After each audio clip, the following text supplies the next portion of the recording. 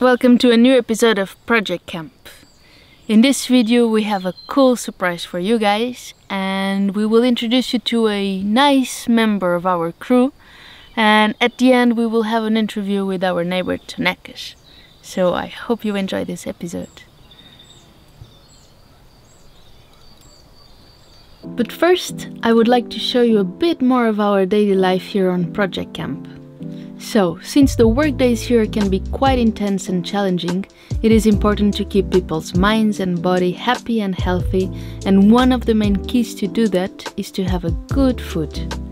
In the first year, we cooked everything by ourselves, which was more or less okay since we were a small group of people. Now, in season 2, we are a bit different. More people, more work, less time for us to prepare food, so we have now the luxury to have a person who takes care of that and provides us with a beautiful and delicious vegan food.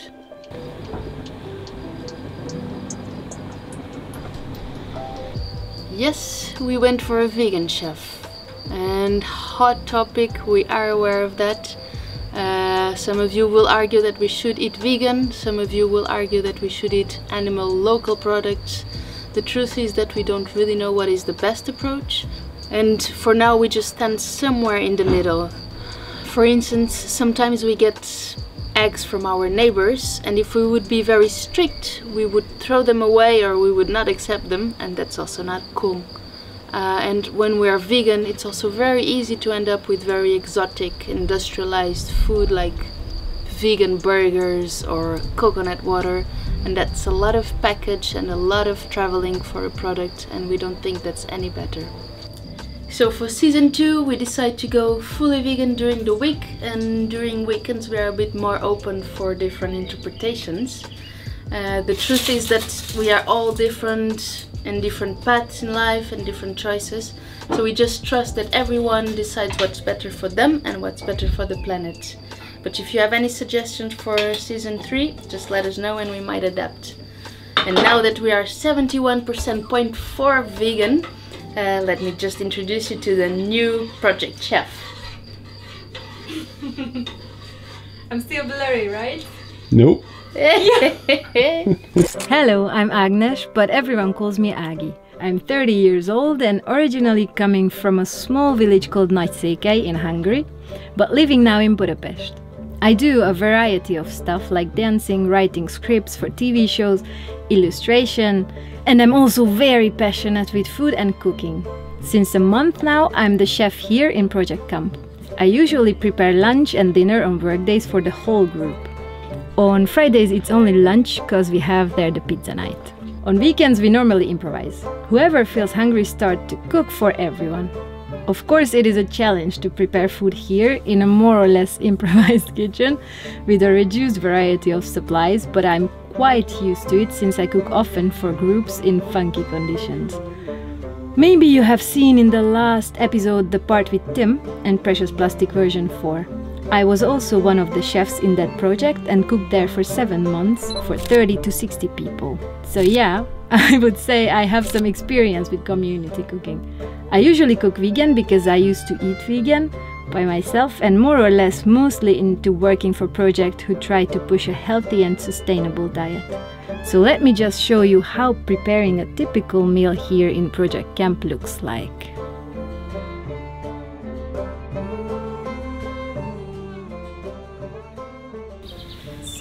Today we're gonna eat a red lentil curry and leftover rice balls from the rice we didn't eat yesterday. It's coated with pumpkin seed flour I made. And we're gonna also eat um, snap peas with soy and lemon and a kale salad with tahini and maybe some strawberries from our garden if we have ripe ones. And if it's not too much, probably it is, then we're gonna eat some parsnips with honey and garlic grilled. Good stuff. so, welcome to the Project Kamp Kitchen. I'm gonna give you a short tour. Come on in. Here, right on the left, we are having our nuts and seeds shelf, uh, which we usually like with everything which is dry ingredient, we are buying it in big amounts, in bulks, in the organic market in the next town. Uh, it's also true for all our dry ingredients like buckwheat, all kind of kinds of beans and uh, rice, lentils, sesame seeds, flax seeds. We are buying them in five kilo packages.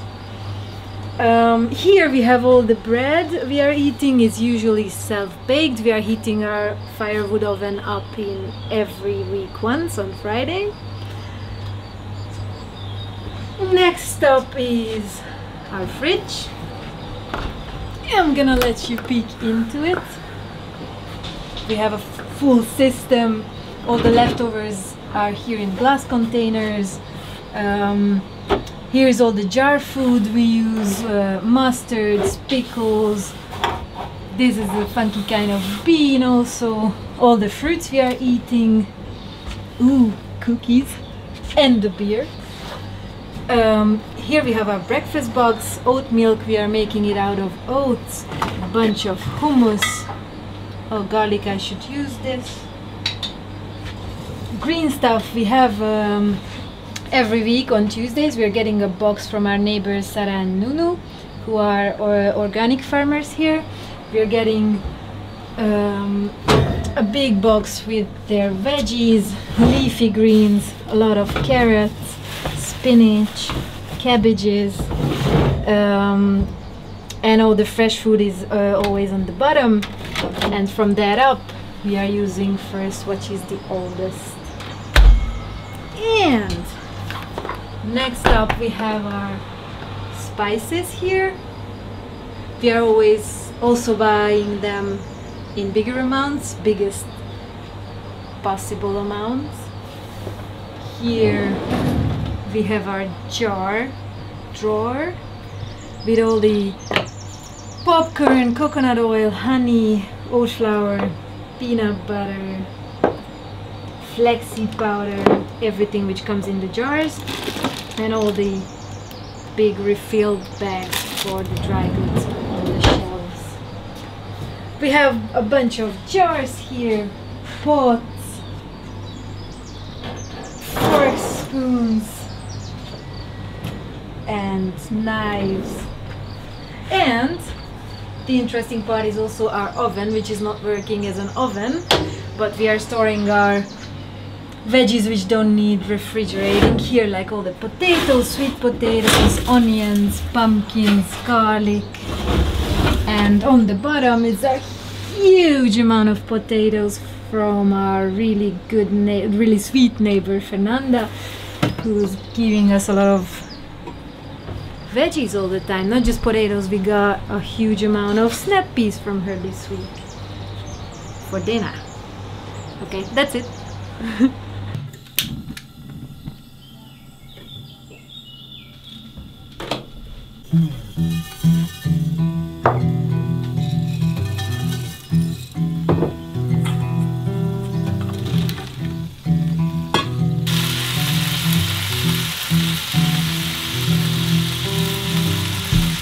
that these are peas. Yeah. Or maybe that's the American word.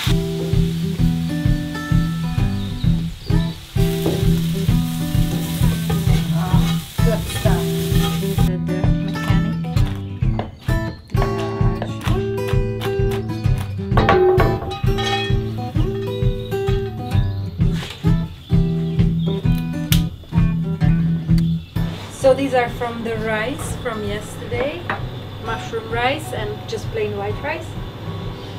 And I mixed it with the potato dish we ate for lunch yesterday and it got such a smooth and awesome texture.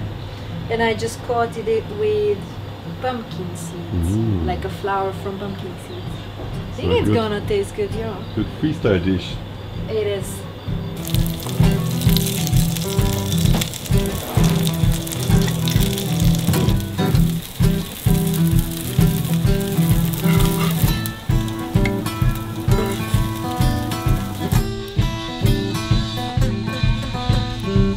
Let's eat.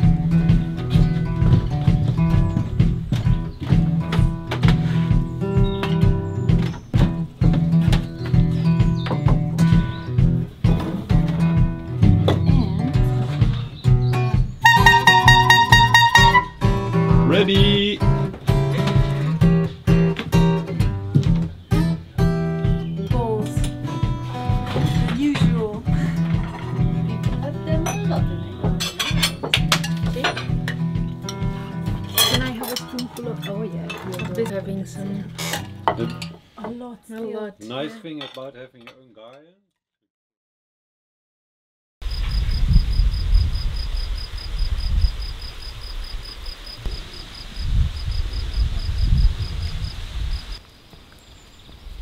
So today it's a special event. As you might know, we have a lot of water on the land and now we go a level up on the upgrade of the land. We were gifted by our great neighbors a path to a waterfall. So we right now stand on neighbor's land, but they decided to open a path so we could bath in the waterfall now that the hot days are coming. So Let's see what's happening around here.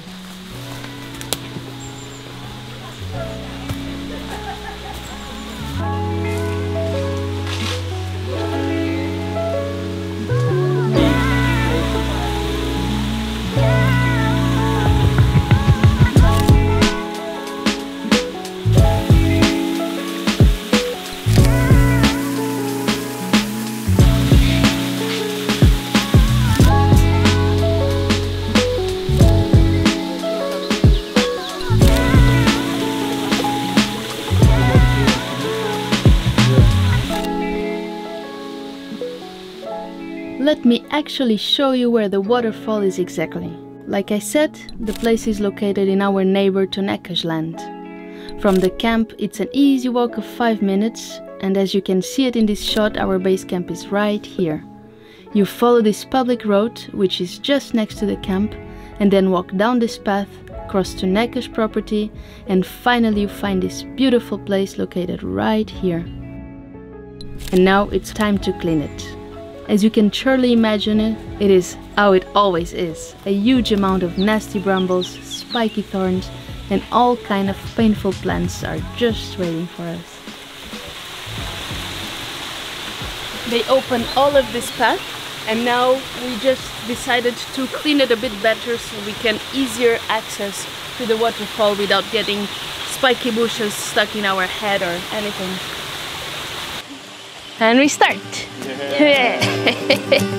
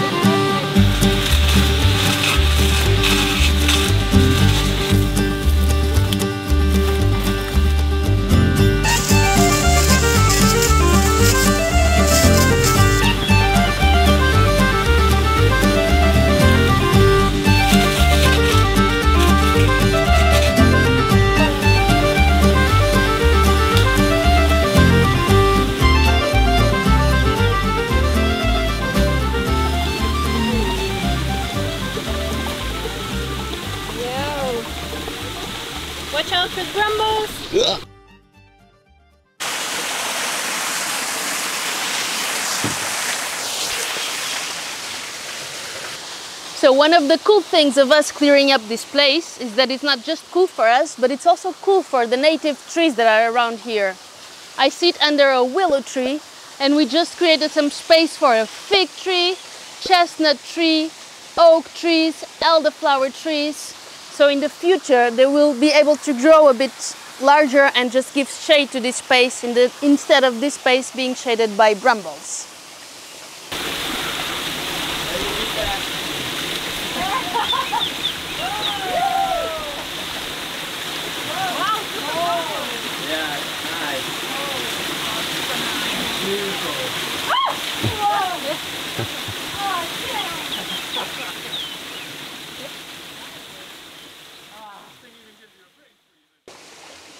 So the waterfall is now cleaned. After a lot of brambles and a lot of thorns, we have easy access to the waterfall. And the cool thing is that with removing a lot of dead trees and bushes, Now the place is much more fire resilient and that's an important thing here on the land. For now you guys can watch the interview that I spoke about Tonecas and his relationship to this place and how this place came to be what it is today. And I hope you enjoy what he says because he's a special guy.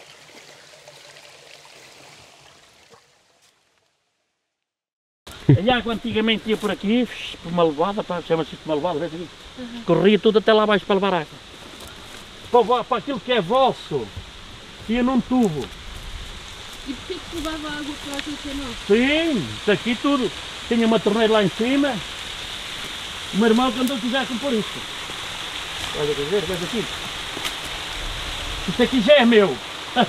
ali dentro do ali de trás já é meu. Ora, cá está. Ora. Vê? Isto aqui tinha uma comporta para abrir água para o ribeiro. Quando queríamos água para aqui, punhamos, tapávamos isto, não foi tudo. E a água ia para ali. Mas havia aqui outra poça. Que era uma tubaria, quando tem vacarias e tudo, fizeram tubo diretamente para lá. Havia aqui vacas, antigamente, primeiro foi de, das macieiras, depois com as macieiras, depois veio as vacarias. Estás a ver? Que era aí vitelos, era para aí vacas, era tratores, era o mundo. Né? Havia aqui peixes bonitos, assim, para comer, bons para comer, encarnados. Enguias, havia aqui muita coisa. Era, pá. Abandono, foi tudo abandonado, ninguém se mexe. Tudo as propriedades que vês aí, era tudo, tudo, tudo cultivado. E estavam aqui uma quantidade de famílias, era aqui uma povoação. Era assim, chegava assim, vida, pronto. Mas eu estava aqui com o meu irmão, falei, é pá, qualquer vou abrir aquilo. Então combinamos dois, veio cá sozinho, deu jeito nisso, para, para. Mas lá em cima aquilo faz ali uma, uma lagoa, que é pá, nunca mais foi utilizado. Quantos anos que eu não venho aqui? Quantos anos? Ui, há mais de 20. Eu nunca mais voltei aqui. Era várias pessoas de trecheira. Era daqui que a gente bebia água, era daqui tudo. Também. Quando andávamos aqui a beber, não íamos lá acima, cara, água, aquilo que era. Era daqui. Era assim. Qual é o seu nome? António Marques. Mas conhecido, aí de todo lado, é Tonecas. Desde quando é que o Tonecas é. ah, desde quando é que este terreno pertence ao Tonecas? Isto já vem uma herdança dos meus pais. Os meus pais herdaram a maior parte dos pais deles. Né? Depois dos pais foi dos avós e alguns já não conhecia, eu não conheci, não é? Veio da parte, de- a maior parte foi da parte dos meus pais. A herdança já, eu já tenho essa herdança há uns 30 anos. Quem é que construiu esta cascata? Essa cascata, quando nós chegámos aqui, eu já a conhecia assim. Só que não estava construída assim, era aquela lagoa lá em cima, né? E eu mais o meu irmão comprámos aquela comporta e o muro estava um pouco debilitado da lagoa e nós, é um muro assim largo, fizemos, a junta deu-nos o tijolo, o cimento, trouxe-nos aqui no trator e nós fizemos aqui aquela, aquela, aquela lagoa, reconstruímos-la. Fizemos um almoço no fim para a inauguração com o Presidente da Junta e foi aí um dia bem passado, um fim de tudo isso. Que lindo. Quem é que construiu estes muros e quando? Isto, é, isto tem centenários de anos, isto não tem, não tem. Ninguém consegue, nem os meus pais conseguiram dizer há quantos anos este muro estava feito. Isto tem centenas de anos, não sei, 200, não sei. Isto foi antiguidade. Já? Não tem limite, não sei. Por isso não posso explicar mais. Porquê que vocês limparam ah, este caminho para a cascata? Isto foi limpo mais por vocês. Porque falou-se que havia aqui esta, esta água, que havia esta, esta sude, chama-se um sude, chama-se um sude, a água aqui chama-se um sude, né? E então que vocês estavam interessados em vir cá e de maneira nenhuma cá podiam vir se isto não fosse limpo. E então era para vir eu mais meu irmão, ele veio só, ele disse para mim, olha, já está mais ou menos limpo, para eles verem lá e desfrutarem aquele lugar ali. Isto foi por vocês mais. E porquê limparam? Porquê que querem que nós possamos usar Porque vocês para nós têm muita consideração. Bastante, nós passámos aqui, não víamos nada, tudo abandonado. E agora passamos, já conversamos, já vimos aqui boa gente, vimos um ambiente diferente, eh, que eu sentia-me triste quando passava aqui isto tudo abandonado. E agora nós sentimos bem, porque vocês são todos uma gente impecável, simpatia, isso conta muito. E nós gostamos que vocês estejam cá. O Tonecas também gosta de ir usar esta cascata? Claro, então foi da minha meninice. Há quantos anos eu conheço isto? Lógico que gosto de ver isto, não é? Gosto de ver esta coisa de antiguidade e de furtar-me quando ver isto, assim vocês vão gostar. Igual, não é? Vocês vão gostar disto. E o Tonecas também gosta de nadar? é? Gosto, gosto, gosto bastante. Gosto muito do, eu gosto muito do campo. Eu gosto mais, aprecio mais o campo do que a praia. Eu gosto muito do campo. Respirar um ar puro, que nos faz feliz, nos faz contente, nos faz alegria, não é? Viver na natureza. Eu gosto, porque é que não gosto? Gosto. Tonecas, estamos feitos. É, como tu quiseres, não tem problema, eu estou aqui para isso. Ah, não tem problema. Ah. Sempre fui recebido por toda a gente, tanto por autoridades, hum, tanto em Lisboa como na Venezuela, nos Estados Unidos, nunca teve problemas, não é? Porque nós temos que ser honestos. E a honestidade é muito bonita. E então nós temos, que ser, temos todo o direito de ser assim, para mostrar às pessoas que amamos um Criador. Muita gente não acredita, mas eu acredito. Não é? Cada qual cria a sua maneira, cada qual é um cada um, desde que me respeitem e respeitem os demais, está tudo bem. Coisa, quer dizer, essa- essa- essas coisas que essas coisas que às vezes já abandonei. Às vezes ainda pego no acordeão um bocadinho, mas pronto. A música, abandonei a música e pronto, e pronto. é. Agora já estou. ah, É assim, é a minha vida. Estou feliz com Deus, tenho o pão de cada dia, tenho a paz, tenho a alegria, sinto-me contente, até Deus me vier buscar. Isso tudo. Agora estou, tudo e agora estou no cantinho. Muito bem, anda à minha vontade.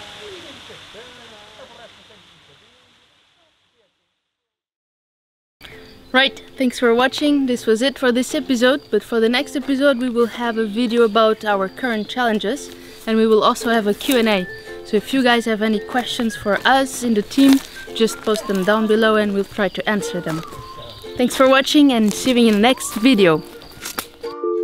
So thanks for watching and see you in the next video. Thanks for watching and see you in the next video. Hey! Was good. It was good. So, thanks and see you in the next episode.